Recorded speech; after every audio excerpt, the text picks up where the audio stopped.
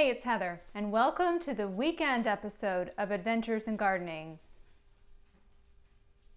This is the end of week 25, so like we're like halfway through, almost halfway through the year. This is when the days are the longest, and I, I just love this time of year. I love this month, and there's so much going on. So um, I have a lot to tell you about today. So the garden is just blooming with so many beautiful perennials. The echinacea are just starting to come in, and my sister gave me a teddy bear sunflower that is blooming, and it's the cutest little thing. And I would not have picked it for myself because I always like the really giant sunflowers, but this one's like a branching one, and it's short and it's cute, and and I have it planted in a barrel, and it's just it makes me really happy to look at it. Um, this week was it's been just so busy. I've just and I I love that it's been so busy. So this week was my first dahlia of the season. It came into bloom. Um, a beautiful pink one. I can't remember its name. It's my goal this year to get them all tagged again. Um, but I was so happy to see it. When my dahlias start to bloom, it's like seeing old friends again. It, it, I just love it. Um, it was also this week that uh, I found the first monarch caterpillar on the milkweed. The milkweed, by the way, is looking spectacular. I've never seen it look so good. I've got the um, the the tall common milkweed out there, um, and also uh, I've got the um, the tuberosa milkweed. Uh, orange that I planted from seed two years ago. No, no caterpillars there yet, but this week I I gathered the caterpillars that I found and I set up my enclosures so that I could take part in their life cycle. And if you're interested in monarch butterflies and monarch caterpillars, I, I encourage you.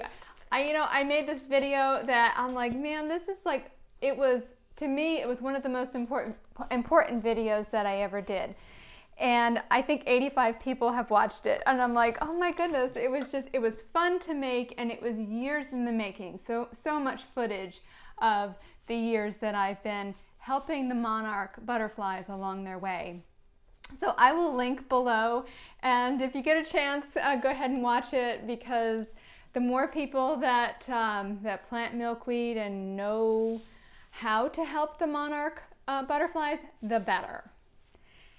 Um, so, uh, just a few weird odds and ends this week. Uh, I've spent uh, a lot of time kind of going through the different rooms of the garden, and um, you know, it, I get busy, and some places I just never like. It'll be like it seems like you know weeks that I get to go through again, and I, a male ilex was blooming. The the uh, the one male ilex that I have, and uh, whose job is to pollinate all of the other ilex.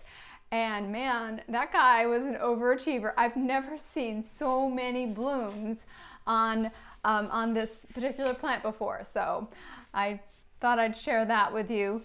Um, this week was my last week for picking the scapes off of the garlic. So if you are a garlic grower and you have scapes, now what's a scape, Heather? Well, a scape is what looks like it's going to be a flower. It's a stalk that comes up and like goosenecks over. And if you leave it on your garlic, um, it, the energy goes into that bloom instead of into bulking up your bulb. So even, even if you don't plan on eating them, you really should take and cut them off. But if you don't eat them, send them to me. they are so delicious. Now, we've been eating scapes um, off of the garlic for quite a few years, and I've always roasted them. And for some reason, the family kind of has become bored with it. And I'm like, well, what am I going to do? I had like 85 scapes that I picked in one day, and I got an email from Fruition Seeds with a recipe for garlic scape pesto. Oh my goodness. It is the most wonderful thing I have ever made. I probably will never roast the um, the scapes again because it was so good. So uh, so I this is I loosely used their recipe. Um, so it is garlic scapes and a little bit of basil. Okay, so the ratio is, is a lot less. Um, of basil versus the garlic scape. Um, sunflower seeds, Parmesan cheese, uh, lemon, and I think that was it. So the lemon helped it to keep its color. I am telling you, this stuff, I will be planting more garlic just to make and freeze this because I don't think I can live a day without having it. it was that good. It is that good. So this is what I have and I'm I shared a little bit of it with my daughter and she says I'm going to need a whole lot more of that. It's it's so good. So it really let the flavor of the scapes shine through and I think roasting it kind of mellows the flavor of the scapes. So yeah, last week of the scapes, they're all picked and the garlic is coming along nicely, probably looking at, you know, the second week of July for harvesting it. I did some carrot thinning this week and then when I plant my carrots, I do not thin them when they come up. I wait until a little bit later. Um, I take and I dig my fingers down a, a, along the greens and, and when the ones that are close together, I'll just start plucking them out. And, and then I have extra delicious carrots, even if they're small. But the carrots, it's gonna be a great year for carrots. I cannot believe the, how they're sizing up out there. Um, so I have been, I have spent so much of my time picking berries.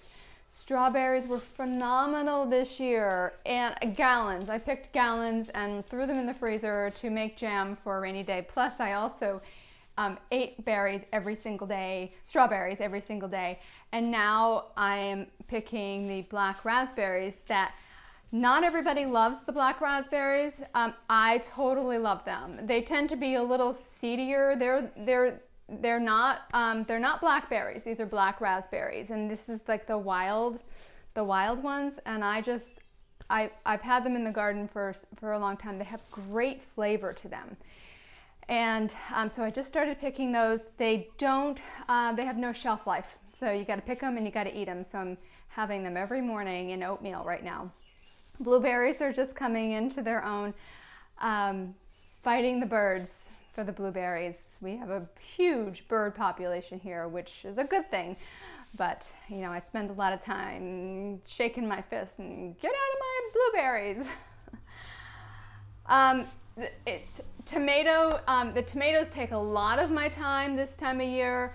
They are coming along beautifully. I, um, I, for all of the big um, the bigger, larger tomatoes, the medium and the large tomatoes. I grow them on a string um, this year, instead of one leader stem, I've decided to let them branch and do two. Um, there is a variety that's new to me this year called Thorburns terracotta that I can't believe. It's, it's, a, it's a medium to large tomato um, in the orange color, terracotta. Um, and I can't believe how many tomatoes on are, are on it this early. So I spend a lot of my days um, wrapping around the string for support and also looking for uh, suckers and taking the suckers off. Now, um, on the medium to large tomatoes, you do take the suckers off. I do not take them off on cherry tomatoes. Well, on the ones that are down low, I don't want the suckers to be too low on, to branch on the cherry tomatoes, but um, not everybody wants to prune them, and that's okay. It is my way. I want um, I don't like a big jumbled mess on my large tomato plants and I like large tomatoes on those plants. So if you um, find a leaf, so you, you have your main stem and then you have your leaf and then the sucker will come off in between and I just pick them off and I throw them in the garbage. I do not compost tomato leaves. I have spent uh, a lot of time this year really enjoying my shade gardens. They look fantastic. Dare I say, I probably shouldn't say it. I'm going to say it anyway. There, there's really not a lot of slug damage. Next week I'll be like, oh my gosh, the slugs. But my shade, the hostas, and all of the other shade plants really look fantastic this year. Um, so I, have a few areas on the outskirts of the property that are shady and I've built them up over the years and they filled in really pretty. So I'm, I'm in love with shade garden plants and I like I like walking through them every day. So the hostas are just starting to bloom right now, and they're just uh, they're looking really really nice. So I had a big project that I wanted to do this week, and when I'm going to do something that could be slightly dangerous, I don't tell anybody that I'm going to do it because you know just in case it goes bad. So I have over the years I have planted things um, to problem solve, okay? Um, and then as it matures, it really isn't working out so well, and I'll just change it. So, no big deal. But I planted this American arborvitae some years ago, and um, at the time, I had a reason for planting it because I wanted the privacy and I love evergreens. And it overgrew onto the only path that I can bring my lawnmower up and down safely from the lower yard to the upper yard. I have a self propelled Honda lawnmower. And it had overgrown so much. And plus, I had been pruning it. It had overgrown onto the path so much, is what I meant to say. But I had been pruning it to keep it like manageable. And when you try to do that with something that is naturally a, a, going to be a huge, um, you know, tree, it starts to look really wonky and it was starting to look like a muppet and it it just did it wasn't attractive anymore and I'm like oh but I really love it because I love to use the greens at Christmas time and I had to have a serious talk with myself. What exactly are we trying to do here? Because it just didn't work in the landscape anymore. And yes I will miss the ever I will miss the greens at Christmas time but um, so I used my little baby chainsaw, my little tiny electric chainsaw, and I'm like, you know, it, it, is, it was really big. It's bigger than what it looks like in the video.